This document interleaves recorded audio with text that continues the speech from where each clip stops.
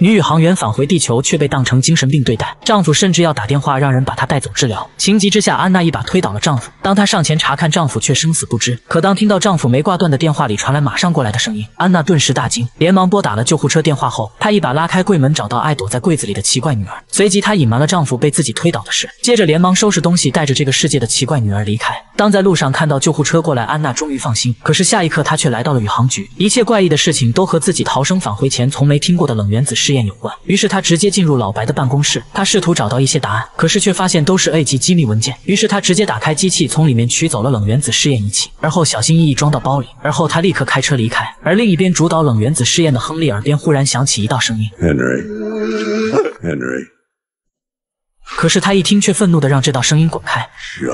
而后他决定泡个澡冷静下。可是下一刻，亨利的房门却忽然被敲响。他小心翼翼的拿起匕首，让对方报上名来。紧接着他一把打开门，可是却错愕的发现外面竟然空无一人。而就在他看不到的背后，镜子中却出现一道诡异的人影。可是等巴德关上房门一转身，那道人影却再次消失不见。而就在第二天，白姐突然给亨利打去电话，她问亨利有没有吃药。接着他不等亨利回答，就说这一届的诺贝尔奖得主不是他。可是他却想起了亨利。接着他说，量子力学的关键点在于。允许两个或者更多粒子存在于纠缠态中，而在纠缠态中，一个粒子的状态发生变化，会决定另一个粒子的状态，不管相距多远。可是亨利一听，眼前却奇异的陷入一阵眩晕。白姐接着说的话，他再也听不到。接着他似乎想起了自身遇到的情况，缓缓放下了手机。而与此同时，安娜已经带着女儿来到边境。可是临走前，他还是给曾经的同事伊利亚打去电话，因为他想知道和自己同在太空站做事的伊利亚吃的是什么药，吃下的是和自己一样的维生素 B，还是和大多数宇航员一样的维生素。伊利亚拿起药瓶，告诉他自己写的是维生素，而安娜却说出令伊利亚懵逼的事情：他们一同返航的宇航员吃的都是维生素，而自己拿的药物这是维生素 B，而那却是抗抑郁症的药。而根据自己去看过的精神医生的说法，自己患上了应激创伤。他给自己开了抗抑郁症药，却和星城基地给自己的一模一样。伊利亚试图说外观和气味一模一样不能证明什么，可是安娜却说自己不会犯这种低级错误。接着自己用原子吸收光谱法测定分析成分，结果他们的成分一样都是锂气，自己没搞错。伊利亚也陷入了深深的疑惑：为什么星城给安娜开这种药物？安娜却说自己得到了自己己在外太空期间有一段自己以为信号中断的录音，那是自己单独在国际空间站时候说的。前天丹麦海军天文台录下后发给了自己，而这也证明星城基地也明明能听到，可是他们却装作不知道。伊利亚连忙说自己返航后也在场，确实信号中断了。安娜却说那他们为什么给我服用锂片？与此同时，海关警员前来检查，安娜马上中断了通话。此刻不知道事情有没有暴露的她紧张至极，直到警员到前面看到了安娜车上的冷原子实验仪器。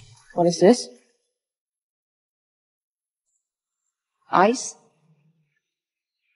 Why? Ice is not illegal, is it? I guess not. Have a nice day. Thanks.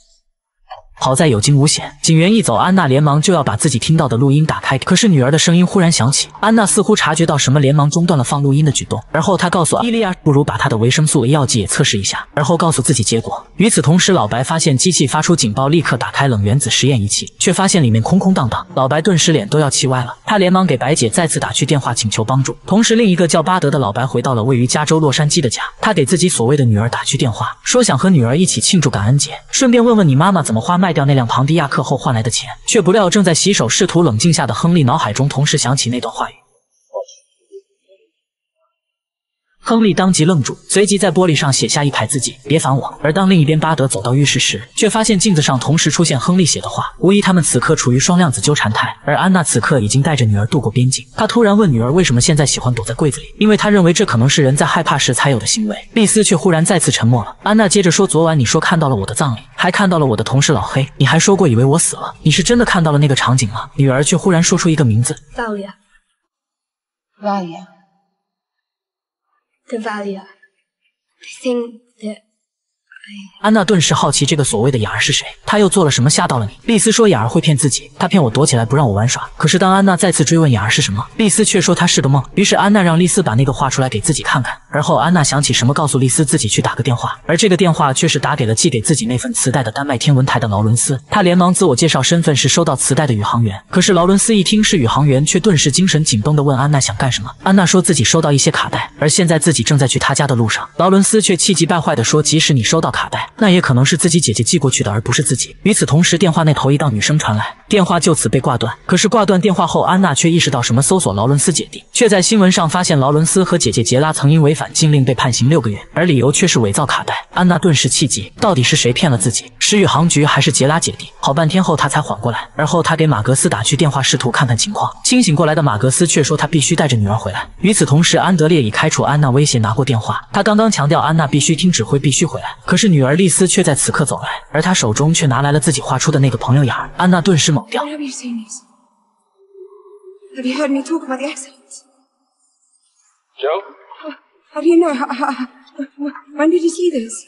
Joe. 而后他马上拿起电话问安德烈，为什么星城给自己开精神病药？自己在星城听证会上刚说自己看到了太空的尸体，安德烈就马上来问自己吃药没有。所以安德烈必定知道那是什么药物。眼见安德烈绕弯不回答，于是安娜告诉马格斯等自己回来后再说。与此同时，同事伊利亚则拿到了自己药物的测试结果，结果显示确实是维生素。接着他来到俄罗斯星城宇航局的档案室内，试图查阅和安娜有关的医疗档案。工作人员虽然口中答应，可是离开的他却马上拿起手机打去一个神秘电话。回来后，他却告诉伊利亚，他要找的关于安娜的医疗文档已经不在了，显然这是被人销毁了。可就在伊利亚疑惑不解时，听闻消息的白姐却找到了伊利亚。她问伊利亚为什么要找这些档案。接着她告诉伊利亚，安娜在家里袭击了自己的丈夫，而后带着自己的孩子不见了，甚至她还从科研基地偷走了一台实验设备。她要求伊利亚一旦得知安娜的消息，就立刻告诉自己。而安娜这边也没有回去，而是一路来到劳伦斯家里，却不料他们刚刚出现就已经被劳伦斯姐弟监视。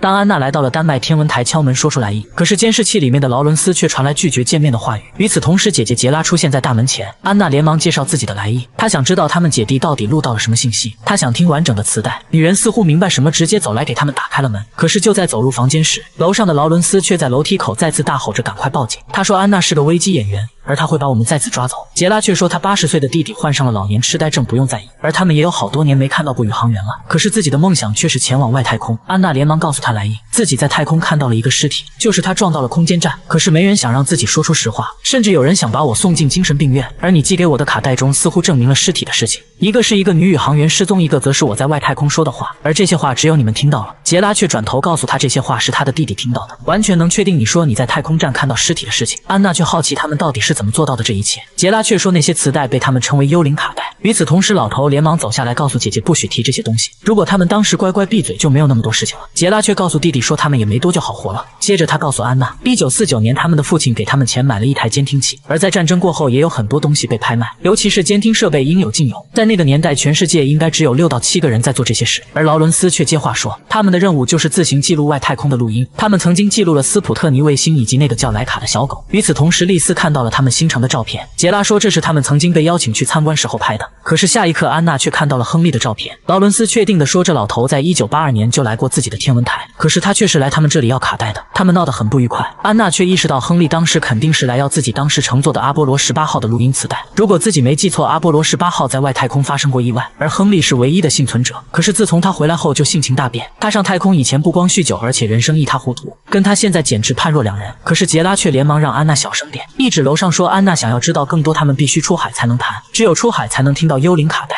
可是就在离开时候，丽丝却看到了桌上的手机，于是她随手装入兜里。接着杰拉从柜子里拿出一摞卡带，告诉他们这些都是外太空的幽灵卡带。而另一边已经清醒的马格斯准备报警，可是安德烈却告诉他，这绝对会演变成大新闻，到时候安娜会失去工作，甚至身败名裂。难道这就是你想要的吗？接着他告诉马格斯，有些宇航员回到地球后确实会发生改变，不过我们要试着接受他们。马格斯这才勉强同意。而在出海的路上，杰拉告诉安娜，曾经苏联有一个礼炮七号的小型太空站，可是里面的三个宇航员却看到太空梭被一个橘色球体围绕，而那个光球长达十分钟才散去。他们认为那个光球就像天使一样。当十天后，另外三个宇航员加入，结果六个宇航员都看到了。劳伦斯说这是事实，自己的录音文稿已经证明这件事，甚至上了新闻，当局也展开了正式调查，而自己也认为那可能真的是天使，可是最后却似乎不了了之。安娜试图告诉丽丝那可能只是鬼故事，可是杰拉却反驳：“你说在太空看到尸体不也是一样吗？”而他甚至在太空听到狗吠，甚至自己录音中的许多出现异常的宇航员在返回地球后都似乎发疯了。接着在船上，他告诉安娜，在阿波罗十八号之前，他们曾经也以为是静电声，可是后来他们通过学习辨别声音的技术发现了异常。接着杰拉告诉他接下来的话和录音得到离海岸八公里的域线空间去听，那是一个处于两域之间的地方。